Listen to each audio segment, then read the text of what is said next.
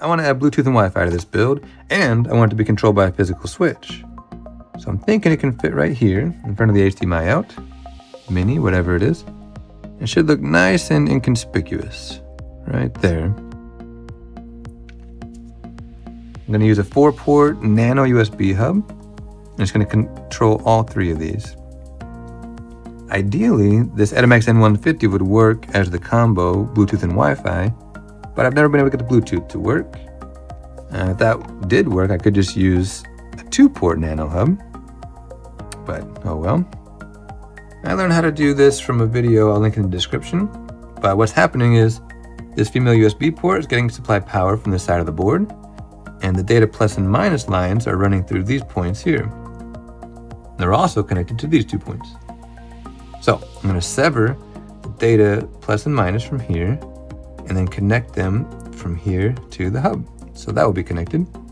Then I'll wire these up on the back.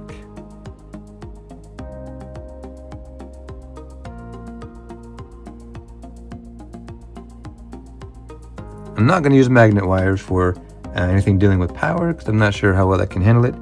Thin gauge uh, stranded wire will be a better idea. And I'm going to grab 5 volts from here, run it on up to the right leg, and then the center leg is going to send it on back and over the top to the back.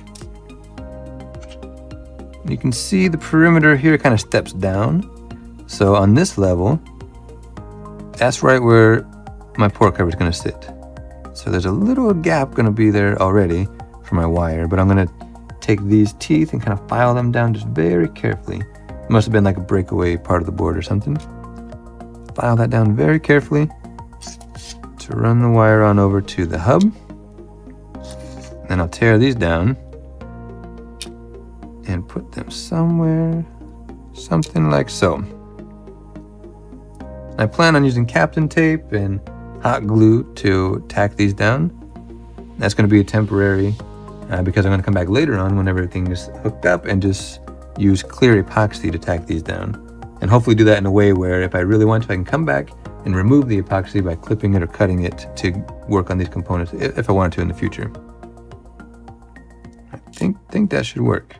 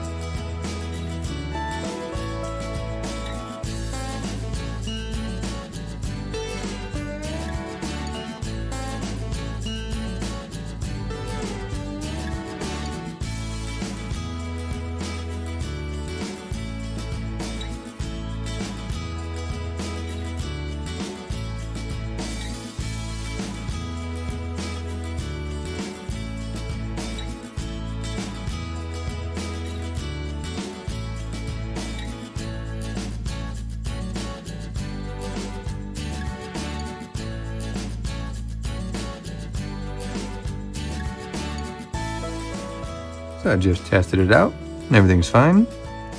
Not quite as pretty as I thought it was going to be. It's a little bit tricky to wire to these little tiny connections here. And I had to do it a couple times. I ended up bridging them, I had to clean them up and, and start over a couple times. Uh, the magnet wire really helps save a lot of space. And uh, these have little blue flashing lights on them, so I think that'll look kind of cool too in the back of the case. So that'll do it for now, for that part anyway.